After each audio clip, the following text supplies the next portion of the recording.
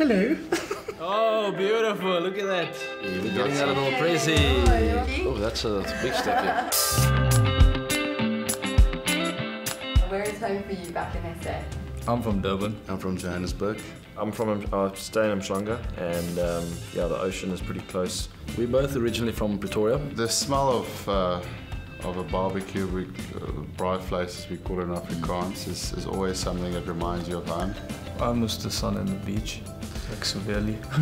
Beach ball games, but uh, there you go. My wife's food, all of it. Biltong, 100% biltong. I would love, yeah, that's very There tempting. you go.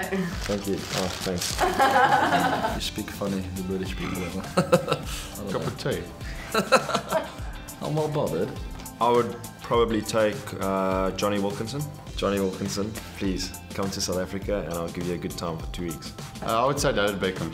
I just go for dinner and Take him on a bike. go on a date. I don't know. If I really had to choose one person, I think it would be uh, Idris Elba. He played Man- uh, Mandela, so he obviously understands the South African culture. How do you do? The Queen? Nah, nah, I'm in a relationship.